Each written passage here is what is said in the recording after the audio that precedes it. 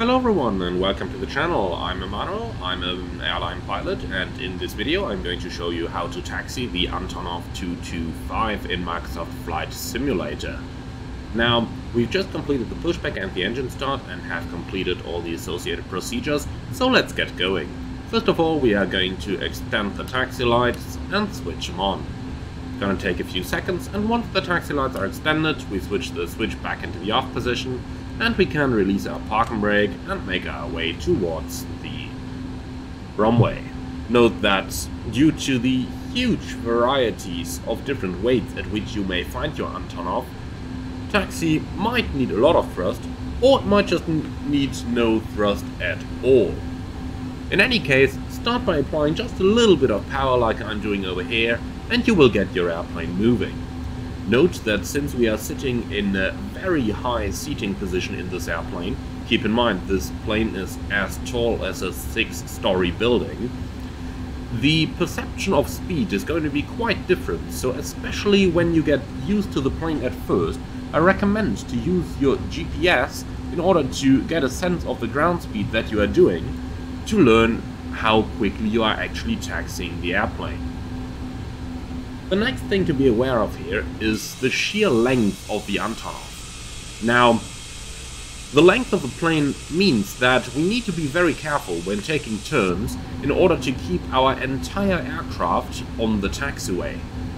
We are going to approach a turn up here and you will soon see what I mean. Now, keep in mind the standard taxi speeds still apply and if you're not aware, on a straight taxiway, you should do a maximum of 30 knots. On an apron, 15 knots. On a turn, it should be a maximum of 10. And then finally, on contaminated surfaces, a maximum of 5 knots.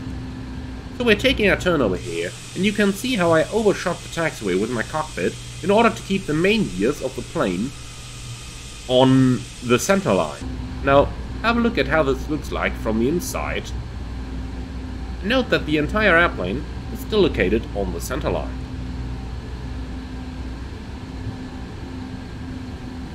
Okay, now that we have a long straight line ahead, let's go ahead and accelerate a little bit.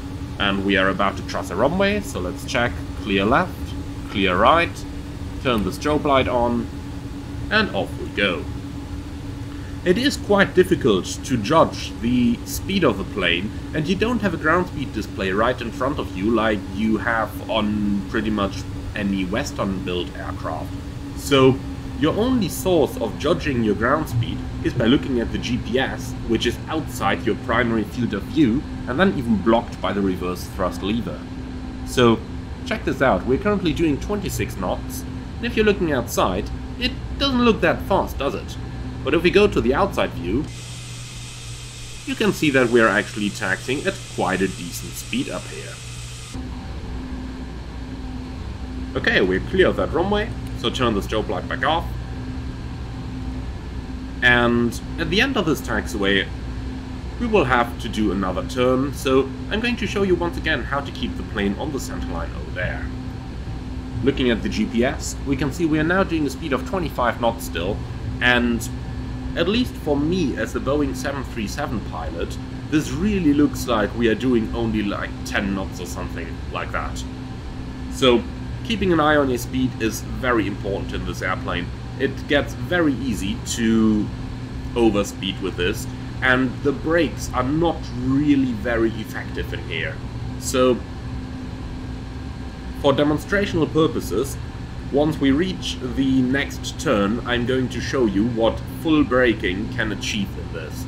And believe me already, it is not very much, so planning ahead is really important. Similarly, depending on your payload, it is important to keep an eye on your speed as you might be accelerating in idle thrust.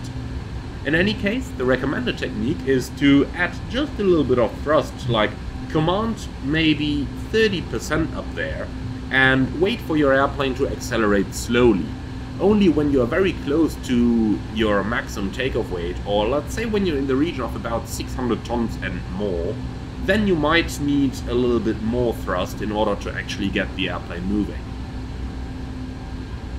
So we're approaching that turn, so let's slow the airplane down slowly. This is maximum braking right now.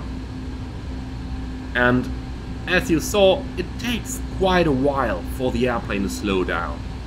And things look very slow right now, but checking the GPS, we're still doing 12 knots, so we're still faster than we should be for that turn. Okay, approaching the turn right now, aim to keep the airplane on the center line with its main gear, and that may require having to oversteer with the flight deck. Now, going outside right now, we are actually going well along the taxiway.